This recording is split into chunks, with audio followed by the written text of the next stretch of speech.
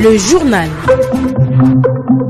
Mesdames, Messieurs les titres, les élèves de classe de terminale du Gabon en classe pour préparer le baccalauréat prévu en août prochain. Le matériel de protection contre la Covid-19 n'est pas encore remis dans plusieurs établissements de l'intérieur du pays, alors qu'à Libreville, le dispositif sanitaire est bien mis en place. La désignation de Rose Christiane Souka répondait à la primature, largement commentée à la présidence de la République par son porte-parole, mais l'architecture de ce gouvernement ne semblerait pas respecter les accords d'Angondje, selon Patrick Eyogo-Edzan, cadre du parti Démocratie Nouvelle de René Demezo-Obian vers une nouvelle charte de la majorité et Luanzondo, le secrétaire général adjoint du PDG, en charge des relations avec les partenaires publics, associatifs et de veille de l'environnement politique, rencontre les partis membres de la galaxie présidentielle. Enfin, une réunion sur la construction controversée du barrage sur le Nil se tient demain sous l'égide de l'Union africaine en raison des tensions entre l'Éthiopie, le Soudan et l'Égypte. Le saviez-vous? Il existe des gestes simples à connaître pour empêcher la propagation du coronavirus. On les appelle les gestes barrières. Quels sont-ils? Se laver fréquemment les mains avec un désinfectant à base d'alcool ou de l'eau et du savon. En cas de toux et d'éternuement, couvrez la bouche et le nez avec le coude fléchi ou un mouchoir. Jetez immédiatement le mouchoir et lavez-vous les mains. Évitez tout contact étroit avec une personne ayant de la fièvre et de la toux. Saluez sans se serrer la main. Évitez les embrassades. Nettoyez les objets et les surfaces souillées. Si vous présentez des symptômes de la grippe, fièvre, toux, éternuement, difficulté à respirer, ne vous rendez pas dans une structure sanitaire ou chez votre médecin traitant. Appelez le 1410.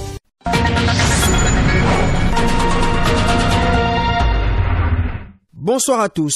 Achille Mwanda Moussotsi à la présentation. Cela dit, environ 40 000 élèves inscrits en classe de terminale ont repris les cours aujourd'hui au Gabon, interrompus il y a près de quatre mois par les autorités suite à l'apparition du coronavirus dans le pays et surtout pour protéger les apprenants. Ces élèves ont donc trois semaines pour préparer l'examen du baccalauréat qui se tiendra du 20 août au 10 septembre prochain. Le constat est signé Freddy Bouvila.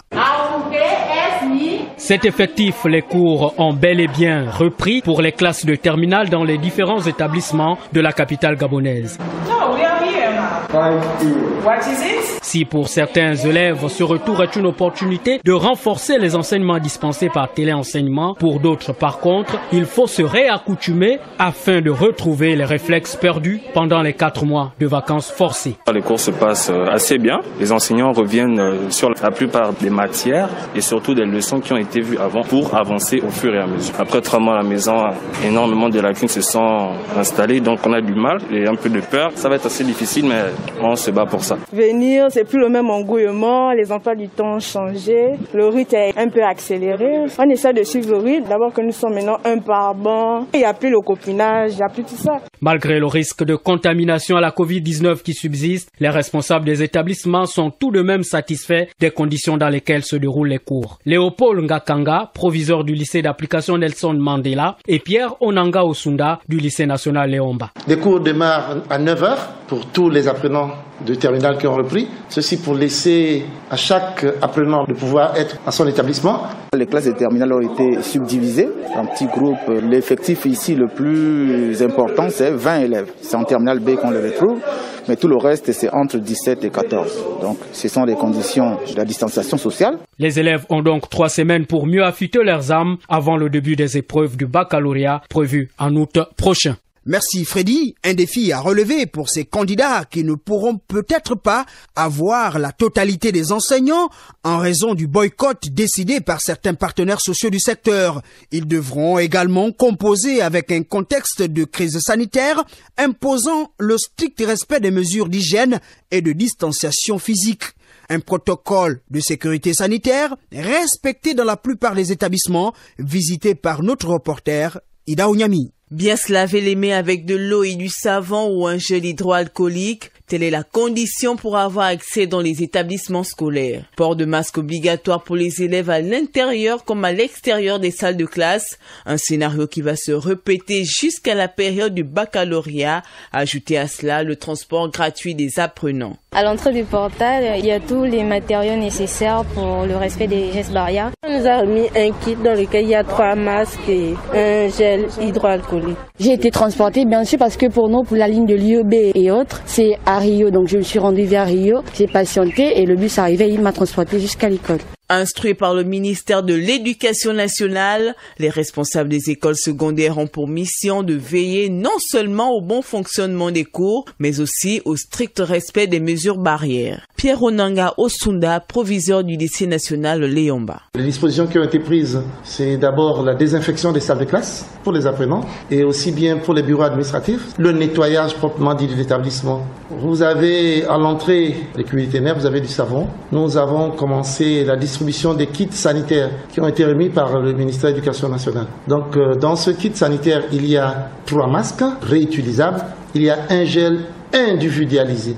Donc, c'est un package pour chaque apprenant. Le ministère de l'Éducation nationale, avec le gouvernement de la République, ont mis en place un système de transport pour les élèves. Et ces bus, je les ai vus ce matin, j'étais au portail depuis 6 heures, sont là. Donc, c'est pour permettre aux élèves de pouvoir arriver.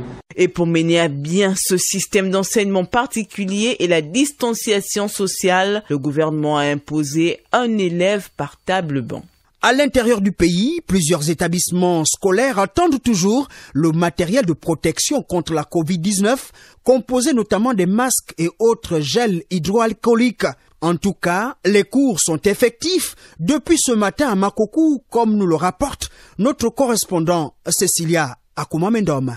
Comme programmé par le ministère de l'Éducation nationale, la reprise des cours de classe de terminale a été effective au lycée Alexandre Samba de Makoukou, dirigé par le proviseur Paten Arnaud Ouambéouin. À côté de l'effectivité du début des cours, pour les élèves des classes de terminale, le proviseur Paten Arnaud Ouambéouin n'a pas caché sa satisfaction suite à l'acquisition du dispositif sanitaire visant à faire face à la pandémie du Covid-19 pendant le déroulement du baccalauréat le 20 août prochain au lycée Alexandre Samba. Ce qu'on peut dire, c'est que les cours ont bel et bien ce 20 juillet 2020 au lycée Alexandre Samba de Makoko en ce qui concerne les classes de terminale. Tout le personnel administratif a répondu présent, les élèves et les enseignants. Donc les cours ont bel et bien repris. La DAP, la direction d'académie provinciale de Gouvernement a mis à notre disposition le kit envoyé par le ministère et dès demain nous procéderons à la, à la, distribution des différents masques aux élèves. Maintenant, ce qui concerne les examens, les préparatifs vont bon train. Tout est fait prêt pour accueillir l'examen du baccalauréat le 20 août prochain. Une reprise des cours satisfaisante pour les élèves du lycée Alexandre Samba et du collège évangélique Marc Essian Somor qui ont promis respecter les mesures barrières afin de mieux lutter contre le coronavirus pendant cette période importante de leur vie scolaire. On a commencé avec la FIO et l'anglais. Les mesures de sécurité des barrières sont respectés. Sauf que le, problème que nous soulevons, c'est le fait qu'il paraîtrait que les masques ont été distribués à toutes les écoles, mais jusqu'à aujourd'hui, le lycée Alexandre n'a perçu aucun et puis nous trouvons ça vraiment bizarre. C'est pas vraiment normal. C'est pas vraiment normal. De Makoku, Cécilia Koumamendom pour Radio Gabon, la référence.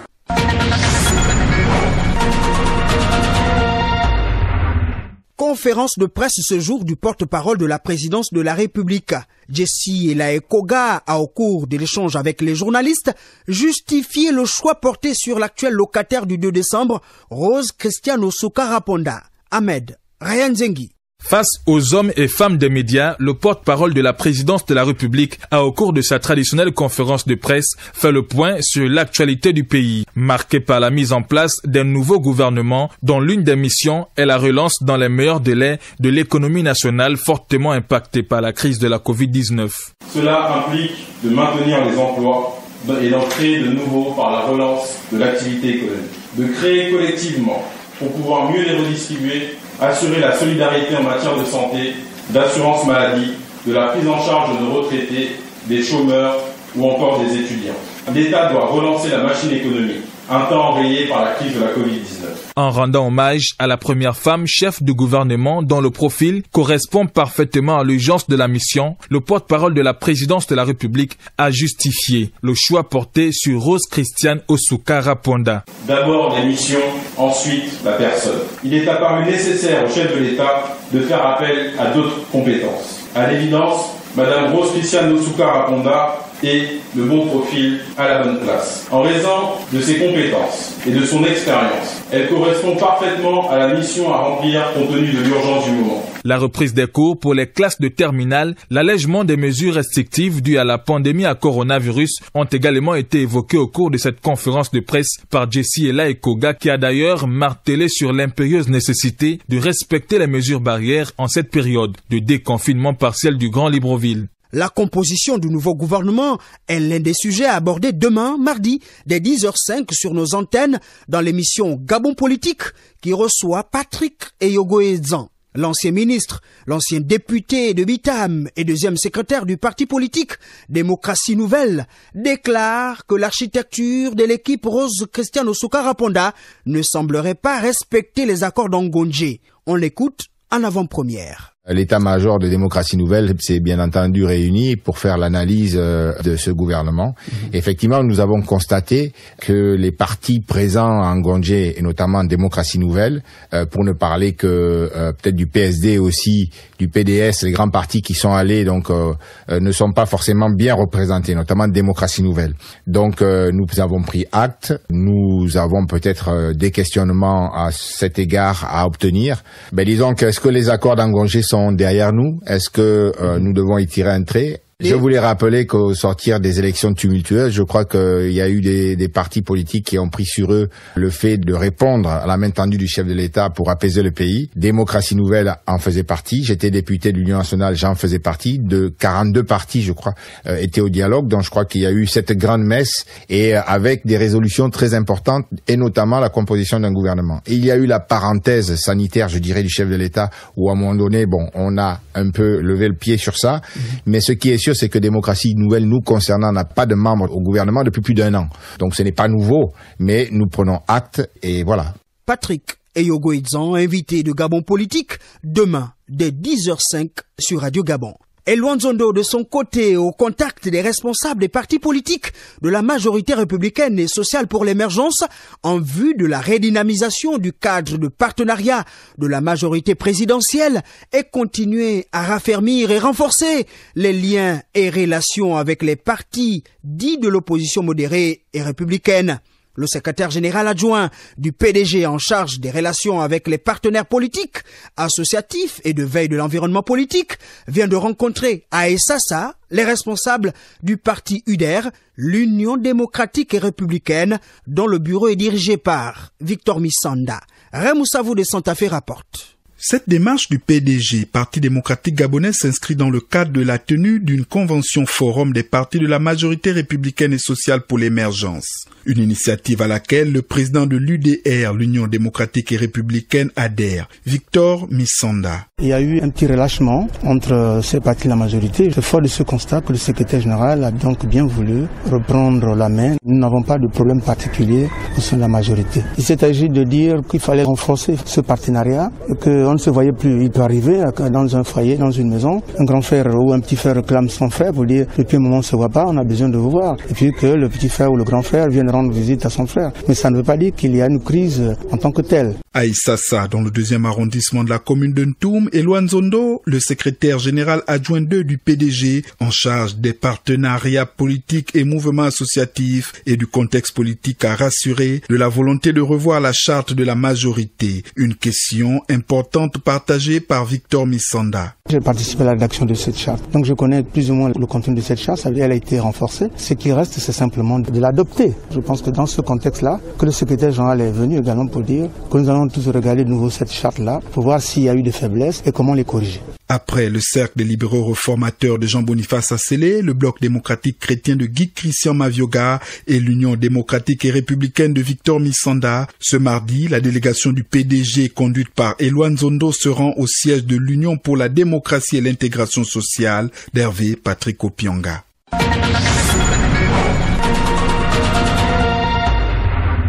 Le Gabon, classé 113e mondial sur 193 pays, selon une étude publiée récemment par l'ONU, l'Organisation des Nations Unies, dans le cadre du développement de l'e-gouvernement. Notre pays gagne 12 places comparativement au classement de 2008, une performance qui le classe en tête des pays de la CEAC, Communauté économique des États d'Afrique centrale, et dixième rang au niveau continental dans le secteur de la gestion du numérique. Ahmed Ryan Réalisant un score de 0,5401 sur 1 selon l'indice onusien, le Gabon poursuit la construction de son développement numérique. Le pays fait désormais partie des 16 nations qui ont rejoint le groupe EGDI élevé en 2020 avec 0,3235 points sur 1 pour les services en ligne, 0,6250 pour les infrastructures de télécommunications et 0,6719 pour le capital humain. Paul Obam, spécialiste des questions liées au numérique. Ce classement du Gabon parmi les pays leaders en matière de l'économie numérique n'est que la résultante du travail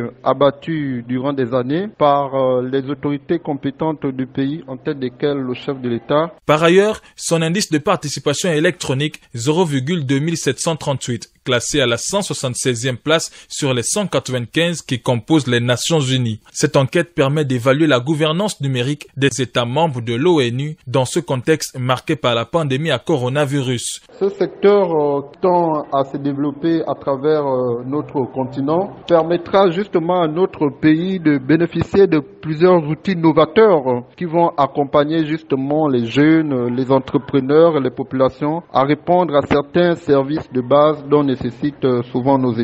Le numérique apparaît désormais comme une panacée pour sauver les activités humaines. Cette enquête offre également la possibilité à cet organisme international d'élucider la question du village interplanétaire inscrite au rôle du tribunal de première instance de Libreville pour être traitée ce lundi, l'affaire opposant l'association des artistes gabonais au Bugada, le bureau gabonais des droits d'auteur pour versement des droits, a été renvoyée au 12 août prochain. Les raisons de ce report, avec vous, Arnaud Ondo Gozogo. Le renvoi au 12 août de l'affaire opposant le Bureau gabonais des droits d'auteur à l'Association des artistes gabonais va permettre à toutes les parties de plaider à armes égales le jour de la nouvelle date de l'audience. Dominique Douma, président de la Corporation des artistes réunis, partie prenante au procès. Le report de l'audience va permettre à ce que l'avocat du Bugada ait les mêmes informations pour qu'il y ait un véritable équilibre pendant la plaidoirie pour euh, le 12 août. C'est la seule raison en tout cas. Hein. C'est déjà une grande victoire pour les artistes. Je lance un appel à tous les artistes d'être le 12 août. Selon le président du CAR, l'avenir des artistes gabonais se joue le 12 août, mais la date va permettre aussi et surtout de déterminer qui du Bureau gabonais des droits d'auteur ou de l'Association des artistes gabonais a raison dans cette affaire. Nous avons présenter les vices de forme qu'il y a eu entre la perception euh, des droits d'auteur qui devraient être perçus par le Bugada. Nous avons toutes les preuves que le Bugada a perçu de ces institutions-là de l'argent. La question qu'on se pose et que le, directeur du Bugada devra répondre le 12, c'est où est passé cet argent-là. Si les avocats des autres sociétés qui ont en principe versé cet argent-là présentent des preuves qu'il n'y a jamais eu des versements, ok, le Bugada aura peut-être raison. Mais s'il y a des preuves que le Bugada a eu cet argent, eh ben, c'est au Bugada de répondre où a été envoyé cet argent-là, puisque les artistes qui sont là, personne n'a reçu un copé. En attendant le 12 août, date retenue par le tribunal, les conseils de chacune des parties affûtent ses armes pour être prêts le jour J des soins à domicile et à moindre coût, c'est le pari d'une jeune entreprise gabonaise dénommée Transmed pour faire face aux contraintes sanitaires actuelles au Gabon. Le lancement de ces services a été fait ce jour à Libreville au cours d'une conférence de presse.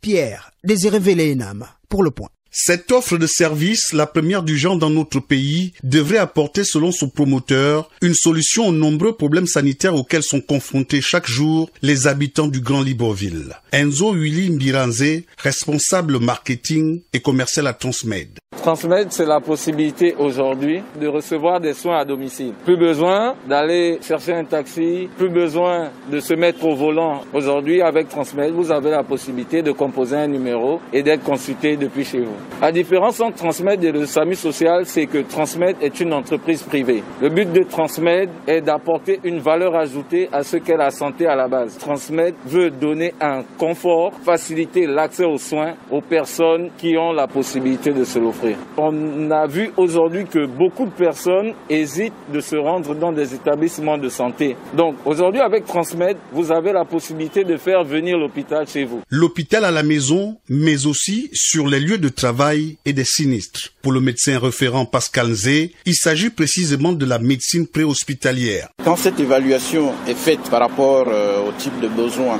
dont fait par euh, le patient ou l'individu, une expertise médicale est faite sur place. Parce qu'à Transmed, il y aura en permanence un médecin réanimateur, un médecin généraliste, un infirmier et des chauffeurs ambulanciers. Donc en fonction du besoin qui se fera sentir, qui sera exprimé, les soins seront euh, édifiés en fonction du besoin. Quand c'est des situations d'extrême urgence, les soins médicaux préliminaires seront faits sur place avant évidemment de l'orienter vers la structure euh, hospitalière la plus appropriée. Si c'est un patient qui nécessite une consultation spécialisée qui peut se faire dans les heures qui suivent, Transmed sera le relais entre ce patient et le médecin spécialiste.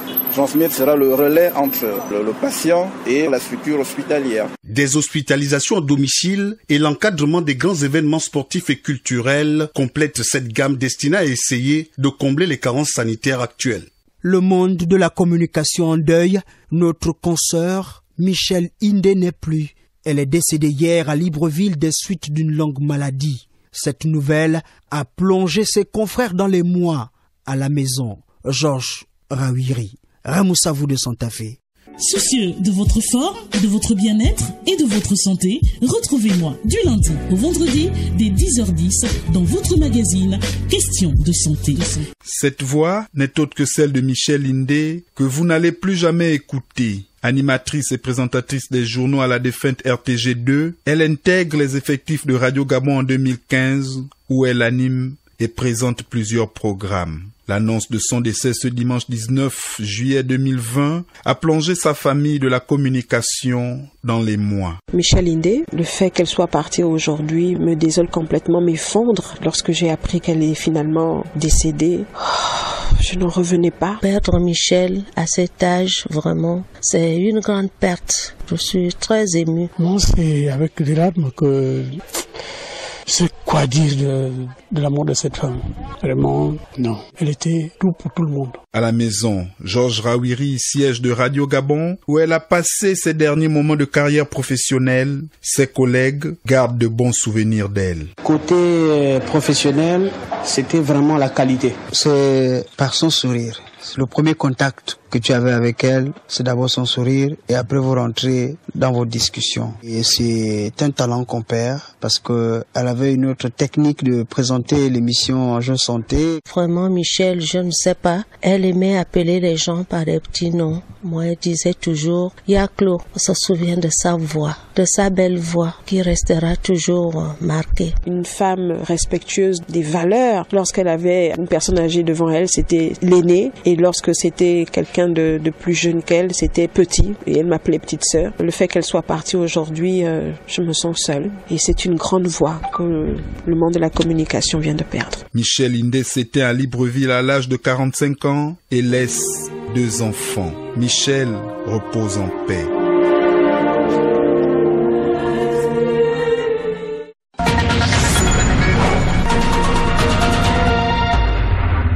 L'actualité à l'étranger, l'Éthiopie, le Soudan et l'Égypte sont invités à participer demain à une réunion sous l'égide de l'Union africaine, réunion consacrée à la construction controversée d'un barrage sur le Nil, source de très fortes tensions entre les trois pays. Roland Sylvain Yandem.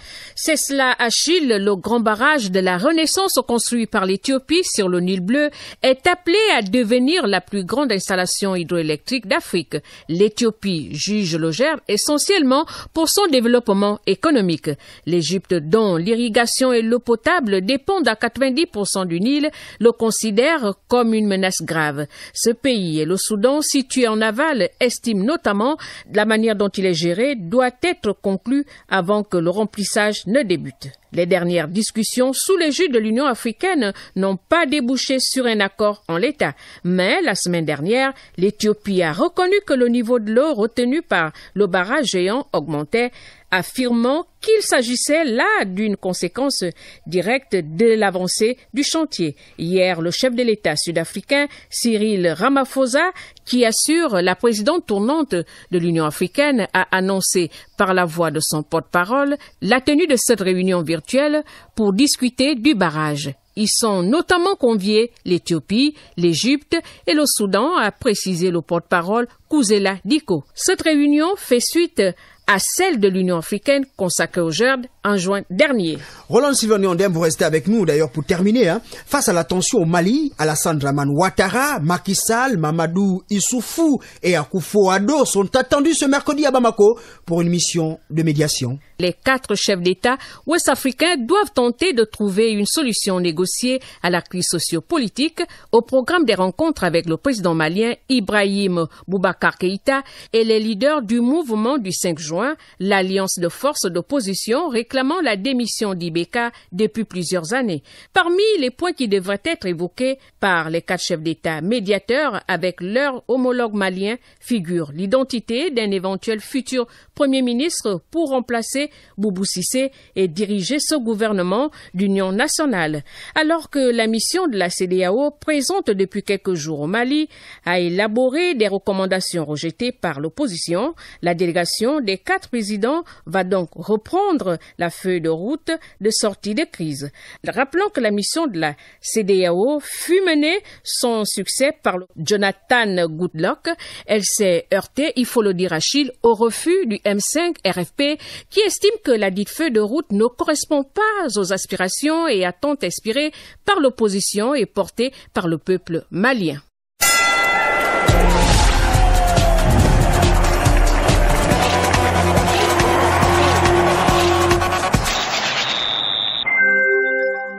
Le sport avec vous, Chivarol Kulu. La Fédération gabonaise de basket a interrompu récemment les championnats des ligues provinciales de la discipline suite à la pandémie Covid-19. Malgré cet arrêt, les clubs de basketball s'entraînent toujours pour garder la forme. C'est le cas du club Les As de l'Estuaire qui peaufine sa préparation. Les détails dans ce reportage d'Ulrich Kupangoy. Les As de l'Estuaire sont en pleine préparation en prélude de la reprise du championnat de la Ligue de l'Estuaire de basketball et le lancement de la Coupe du Gabon. Malgré le Covid-19 qui sévit dans notre pays, les joueurs du dit club s'entraînent journalièrement en respectant les mesures barrières. L'objectif est d'être fin prêt lorsque la compétition reprendra. Ambroise Ambourouet, entraîneur des As de l'Estuaire. Ah, on n'a pas arrêté totalement nos activités. On s'est assis avec mon staff technique et on a décidé de travailler d'une certaine manière. Et on a notre présidente qui est même rentrée tout récemment parce qu'elle était en voyage, donc elle est rentrée un peu avant le Covid.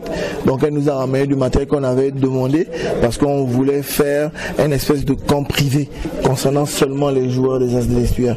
On a des phases en matinée, on a des phases en soirée. Ça ne regorge que euh, trois joueurs par séance mais on change de joueur, donc on a des séances, trois joueurs, trois joueurs, trois joueurs chaque jour. Pour atteindre ses ambitions cette saison, les dirigeants des As de l'Estuaire envisagent de se renforcer avec l'arrivée de plusieurs joueurs pour étoffer leur équipe qui compte déjà des éléments très talentueux. Euh, on avait déjà recruté, surtout en ce qui concerne les seniors. On avait déjà recruté parce que bon, on avait une nouvelle vision pour cette année. Parce que l'année dernière, on est tombé en demi-finale face à Nomba. Cette année, on voulait viser un peu plus loin et on espère pouvoir jouer la Coupe du Gabon cette année. Donc, on a essayé de mettre des moyens de notre côté, que ce soit au côté de recrutement ou au côté financier pour voir dans quelle mesure on peut atteindre certains objectifs. Le regard est tourné vers l'État pour la reprise ou non du championnat de la Ligue de l'Est de basketball, rappelant que l'arrêt des championnats des ligues provinciales et le report de la Coupe du Gabon Interclub 2020 ont été décidés il y a quelques mois par la Fédération gabonaise de basketball à cause du Covid-19. Chivarol, en football, l'arrêt des championnats par la FEGAFOOT conduit les responsables des ligues provinciales à communiquer. C'est le cas de la Ligue provinciale du Gualentem qui vient d'échanger avec la presse. C'était l'occasion pour Cyril Ainsi et Lancy de faire le bilan de la saison sportive 2019-2020 qui vient d'être arrêtée. Simon Pierre Meba pour les détails. Pour le président de la Ligue de football du Wallenthem, l'objectif était d'aller au bout de toutes les compétitions. Malheureusement, le coronavirus est venu tout chambouler. Cyril Ancy et Lancy. Je voulais aller jusqu'au bout de mes compétitions, mais je me suis arrêté juste au playoff. Et ces playoffs-là, euh, il y avait déjà les équipes qui s'apprêtaient en compétition. C'est que nous avons fait à peu près six compétitions. Sur les six compétitions, pratiquement euh, aucune ne s'est arrêtée en chemin. Elle s'apprêtait à prendre euh, le chemin de la clôture. La maladie est venue et ça a frappé tout le monde et ça a occasionné l'arrêt immédiat de nos compétitions pour épargner un peu la santé des uns et des autres. Donc nous avons décidé de suivre la mesure fédérale. À la question de savoir si la Fédération gabonaise de football a-t-elle bien réagi en décidant d'arrêter toutes les compétitions Mais par contre, ce qu'il faut noter aussi, c'est qu'on aurait pu mettre un encadrement un peu plus évolué que ça pour permettre de terminer les compétitions. Mais je pense que l'élection fédérale, elle n'est pas mauvaise. On peut dire qu'elle est mauvaise, bon, pour les gens qui voulaient peut-être finir les compétitions, mais l'aspect santé a été dominant dans la, la décision fédérale et c'est pourquoi ils ont jugé utile d'arrêter la compétition euh, malgré hein, l'envie de pouvoir aller jusqu'au bout. En ligne d'OIM, pour Radio Gabon, la référence Simon Pierre Meba de Michel Sandol. Enfin, pas de bonne nouvelle à l'échelle internationale. Le prestigieux Ballon d'Or ne sera pas décerné cette année. France Football, l'organisatrice de cet événement, l'a confirmé ce lundi. C'est la première fois depuis 1956 que le Ballon d'Or ne sera pas attribué. Une nouvelle conséquence de la pandémie sanitaire de coronavirus. L'Argentin Lionel Messi et l'Américaine Megan Rapinoe restent donc les derniers lauréats. C'est avec les nouvelles de sport de Chivarol Mekunkoulou que se referme ce journal, mais avant, le rappel des titres. Les élèves de classe de terminale du Gabon en classe pour préparer le baccalauréat prévu en août prochain. Le matériel de protection contre la Covid-19 n'est pas encore remis dans plusieurs établissements de l'intérieur du pays, alors qu'à Libreville, le dispositif sanitaire est bien mis en place. La désignation de Rose Cristiano Souka répondait à la primature, largement commentée à la présidence de la République par son porte-parole, mais l'architecture de ce gouvernement ne semblerait pas respecter les accords d'Angonje Dixit Patrick Yogoezan, cadre du parti Démocratie Nouvelle de René Demezo-Obian, vers une nouvelle charte de la majorité. Et Zondo, le secrétaire général adjoint du PDG, en charge des relations avec les partenaires politiques associatif et de veille de l'environnement politique rencontre les partis membres de la galaxie présidentielle. Enfin, une réunion sur la construction controversée du barrage sur le Nil se tient demain sous l'égide de l'Union africaine en raison des tensions entre l'Éthiopie, le Soudan et l'Égypte, nous a dit Roland Sylvani Ondem. La mise en onde est assurée par Léopold Lombo Moisoko. La réalisation est tenue par Herman Osunga. L'équipe de la rédaction s'est jointe à moi, Achille Mwanda Moussoti, pour vous dire merci de nous avoir reçus chez vous. Bonne soirée à tous, dans le respect des mesures barrières.